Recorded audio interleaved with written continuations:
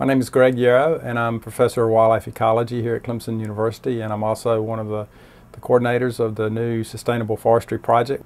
The Sustainable Forestry Initiative is a program which is a partnership between forest industry to make sure that timber products are grown in a manner that's sustainable and environmentally friendly in terms of water quality, soil erosion, and wildlife habitat.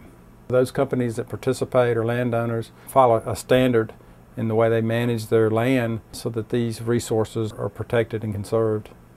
The Sustainable Forestry Initiative in partnership with Clemson University allows us to look at different land management practices that are used to grow timber on Clemson's experimental forest and look at how these practices can be modified to enhance wildlife habitat at the same time improving timber growth. So it's accomplishing two objectives that the landowner would have uh, income from growing timber, and the other is maintaining wildlife habitat. The importance here related to timber management is a lot of the management and growth of timbers on private lands. These practices and techniques that we're, we're researching and demonstrating have application directly to private landowners in terms of the ability to grow timber and also at the same time uh, maintain and enhance wildlife habitat.